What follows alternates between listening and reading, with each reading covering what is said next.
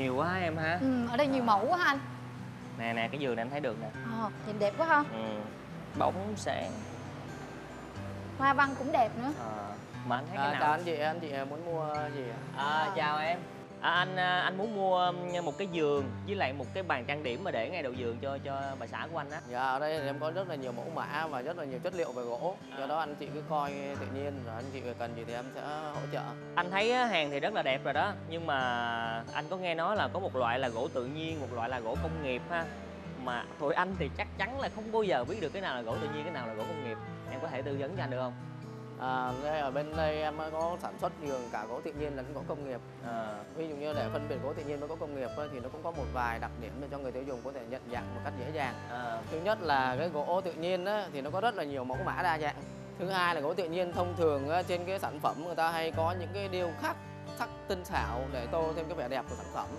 Thứ ba là những cái đường ờ, nét mà chạm trổ đó nó cũng có chỗ sâu, chỗ nông tự nhiên theo người ờ, điêu khắc người ta làm. Rồi cái nữa là để mình à, có thể phân biệt được gỗ tự nhiên với gỗ công nghiệp một cách à, chuẩn xác hơn, mình có thể xem về kết cấu của đầu gỗ. Chẳng hạn anh có thể đến cái vị trí này khi mình à, quan sát cái gỗ này anh cứ quan sát ở mặt cắt của bên hông hoặc mặt cắt phía trên hoặc mặt phía sau của sản phẩm nếu mà gỗ tự nhiên thì các cái vân gỗ nó sẽ chạy từ mặt trước cho đến cái mặt hông và đi ra mặt sau. Nó tạo thành một khối thống nhất với nhau. Các cái vân gỗ nó ờ, đan xen nhau một cách ờ, hài hòa với nhau. Về gỗ công nghiệp ấy, thì các cái giường gỗ công nghiệp hoặc là tất cả những sản phẩm nội thất khác thì thông thường về mẫu mã nó rất là đơn giản và nó bó buộc trong một vài mẫu. Nhưng ngược lại nó rất là đa dạng và phong phú về màu sắc.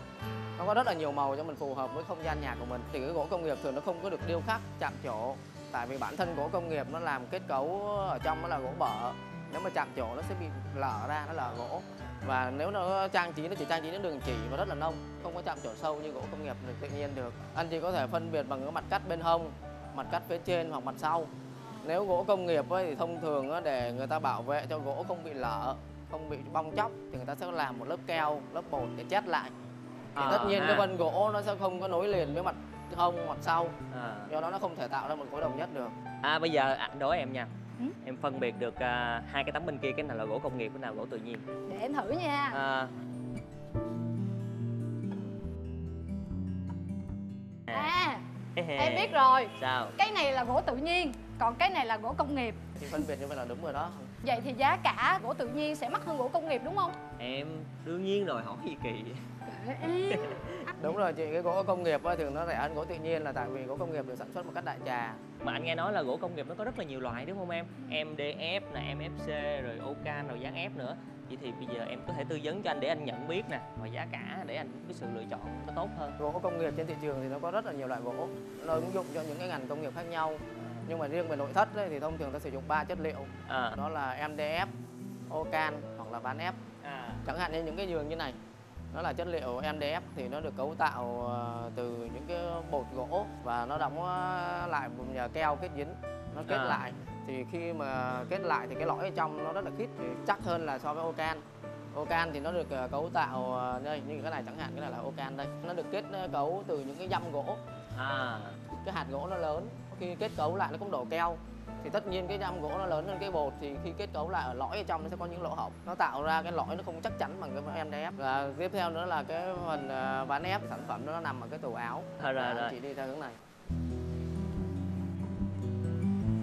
Như ván ép thì thông thường về nội thất nó không có làm những cái mặt bằng à, mặt tiền mà nó chỉ làm được những cái chỗ như là mặt bằng sau tủ mặt trên hoặc là những cái mặt ở trong ngăn kéo. Chẳng hạn như cái này. Đây chính là ván ép. À.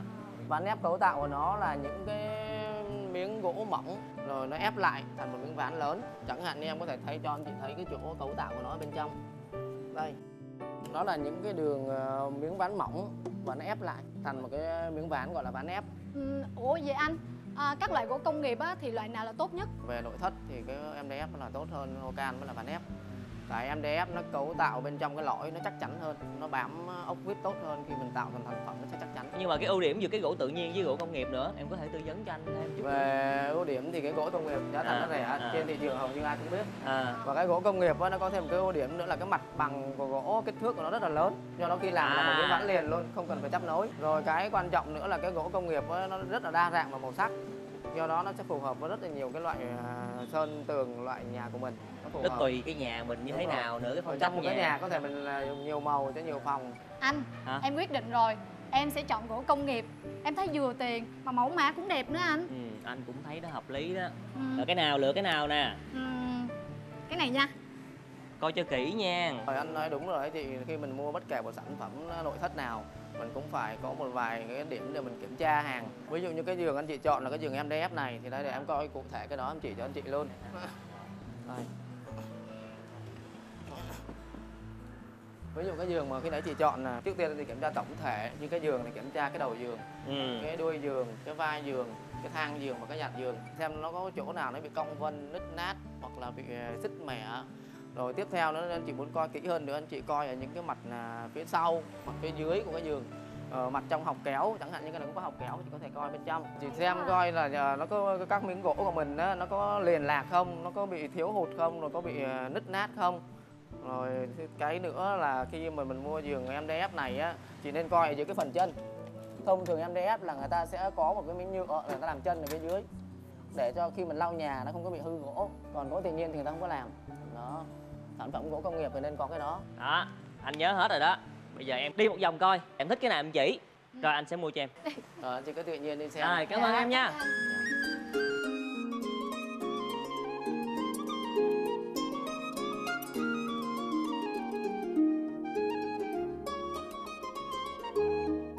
Mua đồng hồ này không? Ủa giờ mình có rồi anh. Là quyết định chưa? Suy nghĩ kỹ chưa? rồi, rồi. đó ha. À, anh mua cái giường với lại cái bàn phấn mà hồi nãy bà xã anh chỉ đó. Rồi em cho xe chở tới giờ anh thanh toán cho em luôn nha. Dạ cảm ơn anh chị rất là nhiều. Ờ, khi nào anh chị cần chị cứ ghé lại bên em sẵn sàng ờ, phục vụ anh chị. Rồi dạ, anh em chị. bán đắt nha. Dạ, cảm ơn anh chị